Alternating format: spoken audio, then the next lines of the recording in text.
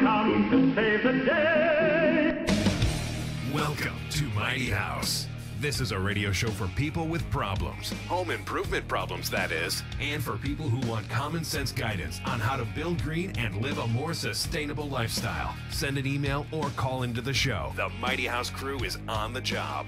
This is Mighty House.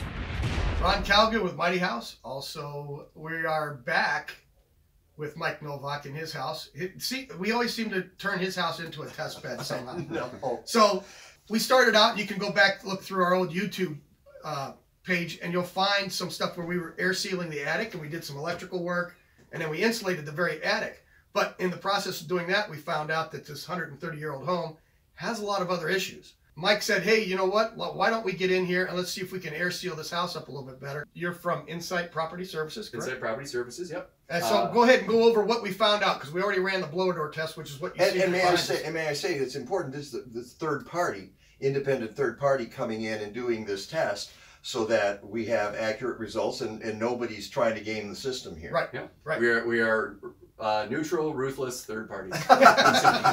we call it like we see it. Um, and you know the house is it's been around for 130 years, right? Yeah. So we've got a good track record of at least structural stability. Um, Although we've got some shifting uh, in, Sure. in various places. Well, it's just character. like- That's called ca- character. Okay. Um, and it's for the most part, it's been keeping most of the water out. So those are the two big ones: keep Yep. standing, keep the water out.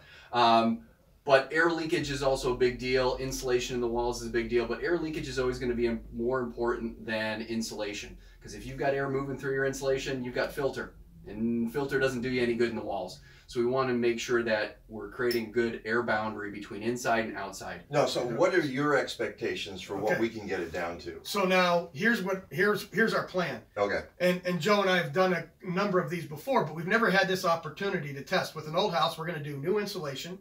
We're going to insulate all the walls and air seal, Because we're balloon frame and there's no insulations in There's- in the outside walls. which we've already have thermal scans to prove that. So then we can test that. So now what we want to do is test it, insulate everything, and then we're going to have Joe come back and test it and see how well we did with the air sealant.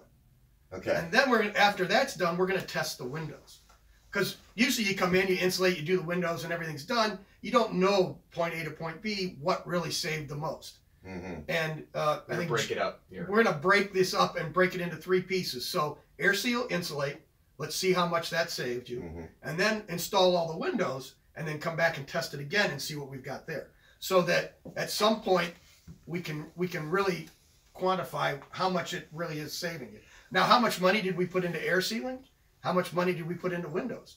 And where's that return on investment? And what we always say on the show is air seal, insulate first, worry about your windows next.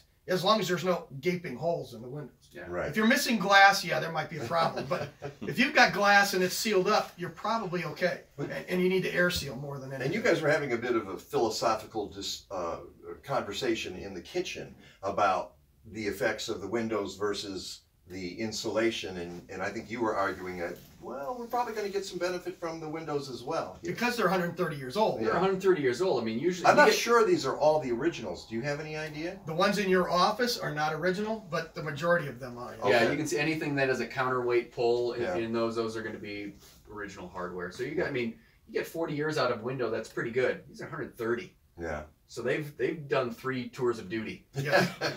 They- it's time to retire. Yes, yes, it's time for them to go. So, I, I just I found this a unique situation. That's why I wanted to one videotape it, two get Joe in here so that we can really put some numbers on it, so that the next time someone calls the show and says, "Hey, uh, I need to replace my windows," they're only ten years old. You may not need to do that. Why don't you go around and find out where the real air is leaking in, Yeah. and stop that, save a bunch of money. And that and that's one of the like you said, neutral third party. I, I don't sell windows. I don't sell furnaces. I don't sell insulation. Right. If you ask me, I won't do it for you. Right. But we are we are we are effectively the house doctors that are going to write a prescription for your house. How do you get your house from where it is to where you want it to be in the most logical, cost-effective order? So that's our goal, we're, and we're going to stop back. We'll have uh, shoot a couple more of these when we start doing the air sealing and insulating. We're gonna we'll have uh, have a, a couple of videos on that, and then when Joe comes back, we'll have shoot another episode, and then we'll do windows and show you how we're doing the windows, and then again one more time when Joe comes back. So hopefully we'll uh, have some fun and learn something. I'm sure looking forward to it. Yeah. It's going to be great. So all right,